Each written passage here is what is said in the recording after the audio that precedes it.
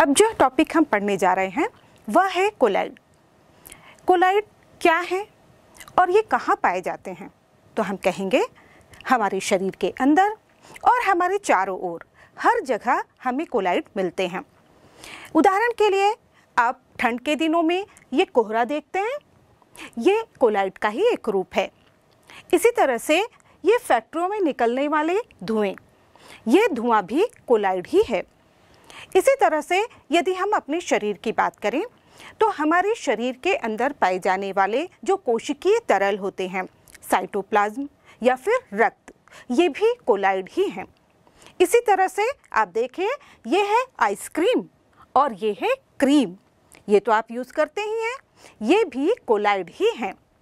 इतना ही नहीं, आप घरों में उपयोग करने वाले जो रूम स्प्रे हैं या फिर ये साबुन का झाग ये भी कोलाइट के ही प्रकार हैं।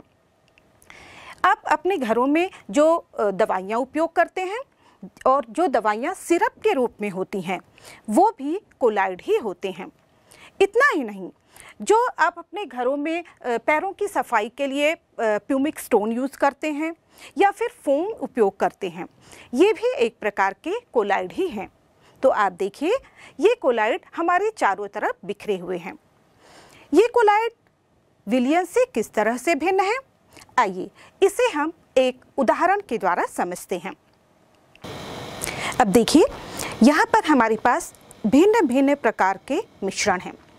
पहला जो आपको दिखाई दे रहा है, वह पानी में नमक का मिश्रण है। लेकिन क्या आप देखकर बता सकते हैं कि इसमें नमक मिला हुआ है? नहीं, क्योंकि इसमें आपको नमक के कण दिखाई नहीं दे रहे हैं। अब ये नमक का जो मिश्रण है इसीलिए हम इसे विलियन कहते हैं, क्योंकि ये एक प्रकार का समांगी मिश्रण है। इसमें नमक के कण इतने छोटे हैं कि ये इसमें आपको बाहर से दिखाई नहीं दे रहे हैं। और इस तरह यहाँ पर आपको केवल एक ही प्रावस्था दिखाई दे रही है। दूसरी ओर, यदि हम इस मिश्रण की बात करें तो यहाँ पर पानी में हमने रेत डाला हुआ है। और यहाँ पर आपको रेत के जो कण हैं, वो बाहर से दिखाई दे रहे हैं। और क्यों? क्योंकि ये रेत के कण इतने अधिक बड़े हैं कि आप इन्हें स्पष्ट देख सकते हैं। यानी कि यहाँ पर आपको दोनों प्रावस्थाएँ स्पष्ट दिखाई दे रही हैं। अब इन दोनों प्रावस्थाओं के बीच यहाँ पर हमने देखा, एक जिसमें कि जो विलय के कण हैं, बहुत छोटे हैं। ये सामांगी मिश्रण हुआ। दूसरी ओर हम देख रहे हैं कि विलय के कण काफ़ी बड़े हैं, जो स्पष्ट दिखाई दे रहे हैं, और यह एक स्पष्ट विषमांगी मिश्रण है। इन दोनों के बीच हमारे पास और भी भिन्न भिन्न प्रकार के मिश्रण होते हैं, जिनमें कि कणों के साइज़ इस शुद्ध विलयन के कणों और यहाँ पर जिसे हम निलंबन कहते हैं, उनके कणों के बीच होते हैं। जैसे कि यहाँ पर आपको, यहाँ पर दिखाई दे रहा है, यह है स्टार्च का मिश्रण। स्टार्च को जब हमने पानी में घोलकर इसे गर्म किया तो इस प्रकार का हमें एक मिश्रण प्राप्त हुआ। इसी तरह से जो दूध है, यह भी एक प्रकार का यदि मैं इसे पानी में डाल दूँ तो आप देखेंगे कि ये पानी में पूरी तरह से फैल गया है।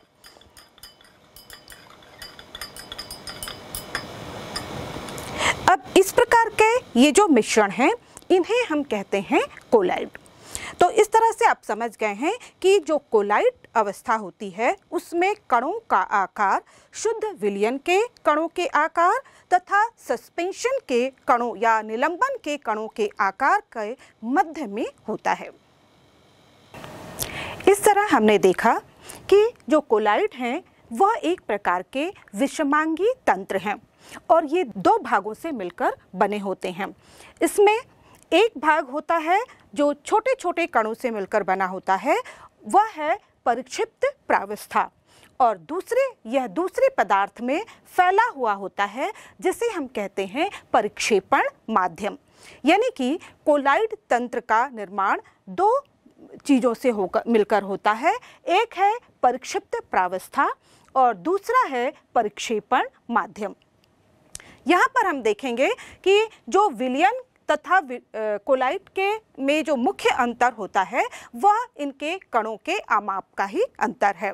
यहाँ पर हम देखें कि जो कोलाइट के कणों का आकार होता है, वह एक नैनोमीटर से एक हज़ार नैनोमीटर के मध्य होता है।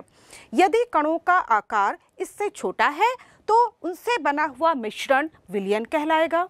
और यदि कणों का आकार 1000 नैनोमीटर से अधिक है तो उससे बना हुआ जो मिश्रण होगा, वह सस्पेंशन या निलंबन कहलाएगा। यहाँ पर हम एक और चीज़ देख सकते हैं कि जो विलियन के अवयव होते हैं, वो या तो फिर आयन हो सकते हैं या छोटे छोटे अणु हो सकते हैं। लेकिन जो कोलाइट के अवयव होते हैं, वो एक बृहद अणु भी हो सकता है, जैसे कि प्रोटीन का अणु या एंजाइम का अणु या फिर कोई और बहुलक। या फिर ये कई परमाणुओं या फिर कई आयनों या कई अणुओं का एक संकलन भी हो सकता है, जो कि मिलकर एक कोलाइड रेंज के आकार का गठन करते हैं।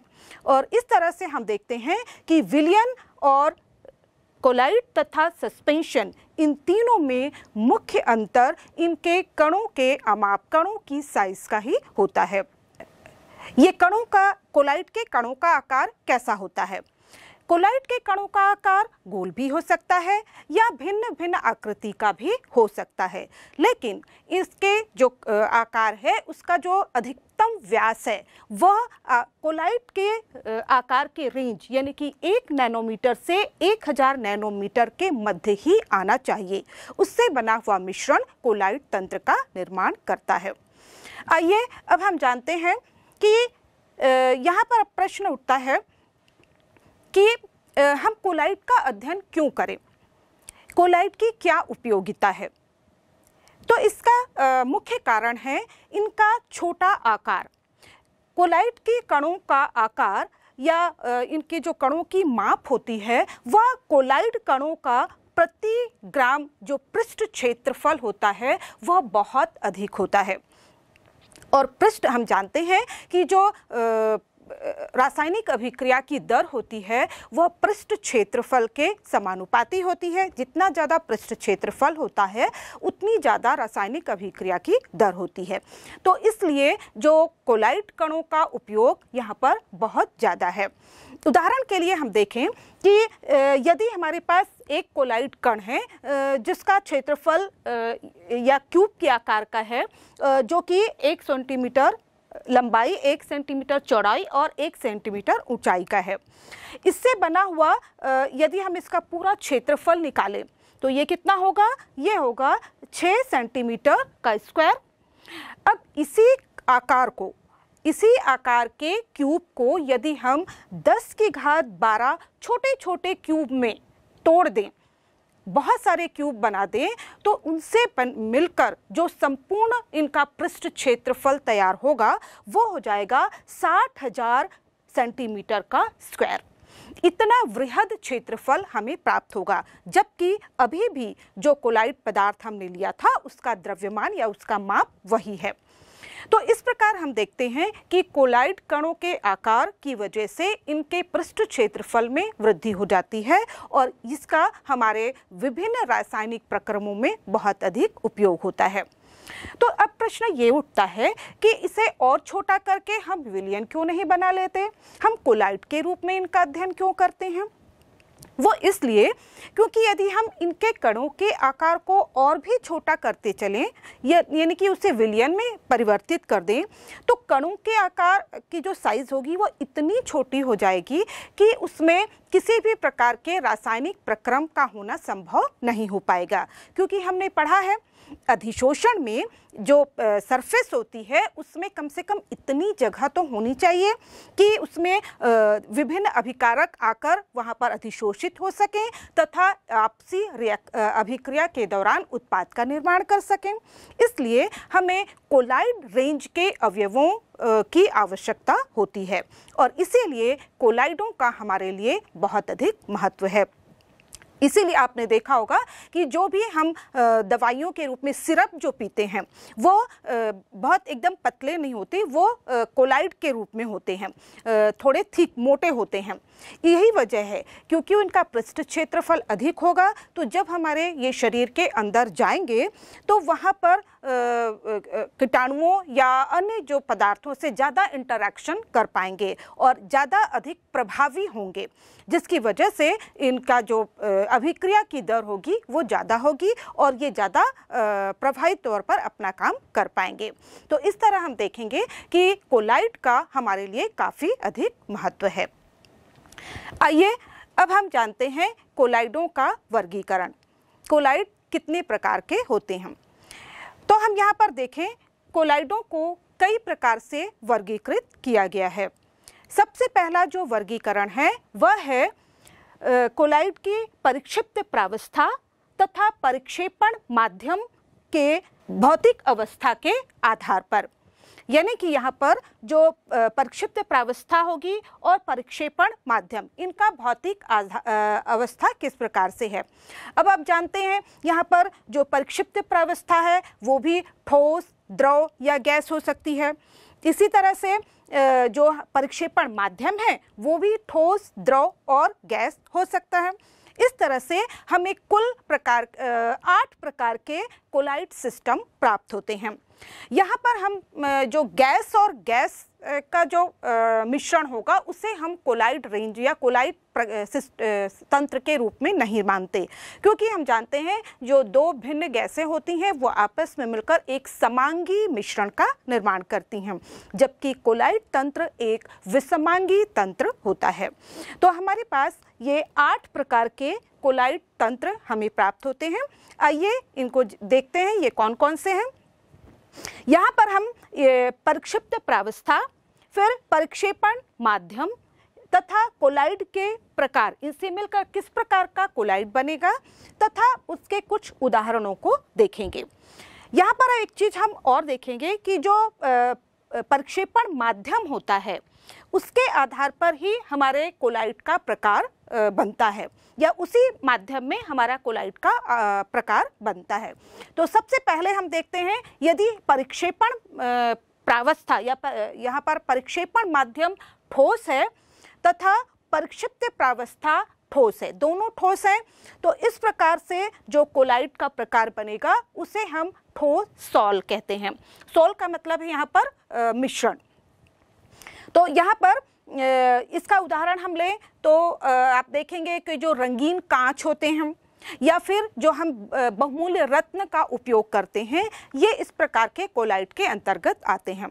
जो रंगीन कांच होते हैं, उनमें जो कांच बनता है, उसमें कुछ धातुएँ, जैसे आपने देखा होगा, कॉपर है, कोबाल्ट है, ये धातुएँ मिलाई जाती हैं ताकि उनमें भिन्न भिन्न प्रकार के रंग उत्पन्न हो सकें। तो इस प्रकार ये ठोस का ठोस में बना हुआ कोलाइड का उदाहरण है। इसी प्रकार हम देखें, जब परिक्षेपण माध्यम द्रव है और इसमें ठोस परिक्षिप्त प्रावस्था के रूप में मौजूद है तो इस प्रकार का जो कोलाइड तंत्र बनता है, उसे हम सोल कहते हैं। और प्रायः हम अपने चारों ओर दैनिक जीवन में इसी प्रकार के कोलाइड तंत्र का इस्तेमाल ज़्यादा करते हैं। इसके उदाहरण में आप ले सकते हैं, जैसे कि पेंट या फिर इसमें जो हमारे शरीर में उपस्थित जो कोशिकी तरल होते हैं साइटोप्लाज्म हुआ, रक्त हुआ, ये इसके अंतर्गत आते हैं। तीसरे प्रकार का जो कोलाइड है, वह होता है यदि परिक्षेपण माध्यम गैस है और उसमें परिक्षिप्त प्रावस्था ठोस है। तो इस प्रकार का जो सॉल तैयार होता है, उसे हम एरोसॉल कहते हैं। और इसका उदाहरण हम ले सकते हैं धुआँ और या फिर धूल। वायु होती है, उसमें धूल के कण या कोयले के कण प्रक्षिप्त प्रावस्था के रूप में फैले हुए होते हैं। तो इसे हम कहते हैं, जो धुआँ होता है, वह इस प्रकार के कोलाइड के अंतर्गत आता है। चौथे प्रकार का जो कोलाइड है, इसमें परिक्षेपण माध्यम ठोस है तथा इसमें प्रक्षिप्त प्रावस्था द्रव होती है। अब इस प्रकार का जो कोलाइट बनता है, उसे हम जेल कहते हैं। और इसका उदाहरण हम ले सकते हैं पनीर या फिर विभिन्न प्रकार की जो जेली होती हैं। इनमें ठोस पदार्थ में द्रव जो है, वह प्रक्षिप्त प्रावस्था के रूप में मौजूद होता है। इसके बाद अगला जो कोलाइट तंत्र है, वह है प्रक्षेपण माध्यम जब द्रव होता है और प्रक्षिप्त प्रावस्था भी द्रव होती है, यानी कि द्रव का द्रव में मिश्रण। इस प्रकार का जो कोलाइट तंत्र बनता है, उसे हम इमल्सन या पायस कहते हैं और यह भी सबसे ज़्यादा प्रचलित कोलाइट तंत्रों में आता है। इसके बहुत सारे उदाहरण हैं, जैसे कि दूध है, मक्खन है या फिर क्रीम है। ये इसके अंतर्गत आते हैं। अगले प्रकार का जो कोलाइट सिस्टम है, वह है जिसमें कि प्रक्षेपण माध्यम गैस होती है, जबकि प्रक्षिप्त प्रावस्था द्रव होती है। और इस प्रकार का जो कोलाइट तंत्र बनता है, उसे हम कहते हैं एरोसॉल, क्योंकि यहाँ पर जो परिक्षेपण माध्यम है, वह है गैस। हमने पहले ही कहा कि जो परिक्षेपण माध्यम होता है, उसी के आधार पर हमारे कोलाइट का प्रकार बनता है। इसका उदाहरण हमने जैसे लिया अभी, धुआँ या फिर धुंध या फॉग तथा कोहरा, इसका उदाहरण होता है। यहाँ पर हम देखेंगे कि हवा में, कोहरा क्या होता है? जिसमें कि हवा में पानी की छोटी छोटी बूंदें, यानी कि गैस में द्रव के कण परिक्षिप्त प्रावस्था के रूप में मौजूद होते हैं। तो धुंध या कोहरा, इसका उदाहरण है। इसके अलावा जो बादल है वहाँ पर भी हम देखते हैं, ये इसका उदाहरण हो सकता है, या फिर जो हम रूम स्प्रे का जब स्प्रे करते हैं तो वहाँ पर हम देखेंगे स्प्रे का जो पदार्थ होता है, वो वायु में फैल जाता है। तो यह, ये भी उसी प्रकार के एरोसॉल का उदाहरण है, जिसमें कि गैस में द्रव के कण फैले हुए होते हैं। अगले प्रकार का जो कोलाइट तंत्र है, वह है जिसमें कि परिक्षेपण माध्यम यहाँ पर ठोस होगा तथा परिक्षिप्त प्रावस्था गैस होगी। यहाँ पर इस प्रकार का उदाहरण हम देखेंगे क्योंकि यहाँ पर परिक्षेपण माध्यम ठोस है तो ये जो प्रकार कोलाइट का बनेगा, वो ठोस सॉल होगा। और इसका उदाहरण होता है आपका प्यूमिक स्टोन या फिर फोम। यहाँ पर प्यूमिक स्टोन जैसे कि आप देख रहे हैं, जो पत्थर होता है, उसमें आपने देखा होगा कि उसमें छिद्र होते हैं, वो सरंध्र होता है।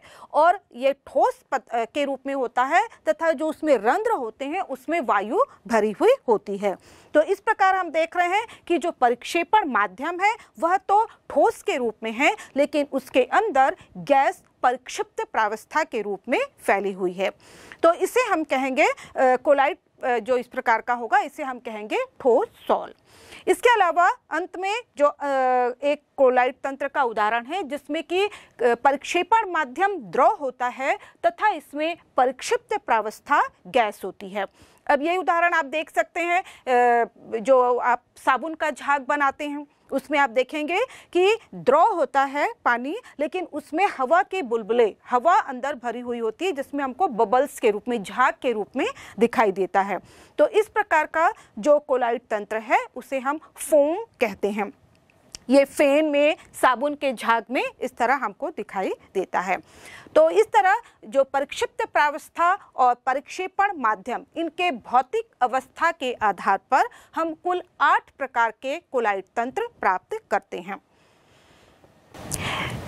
इन सभी प्रकार, आठ प्रकार के जो कोलाइट सिस्टम हैं, उसमें सबसे ज़्यादा जो प्रचलित कोलाइट तंत्र होते हैं, वह होता है एक आपका सॉल या फिर जेल और तीसरे प्रकार का इमल्सन। और हम इस जो अध्याय है हमारा, उसमें हम ज़्यादातर सॉल तथा इमोल्सन के विषय में या उसके गुणों के विषय में अधिक अध्ययन करेंगे।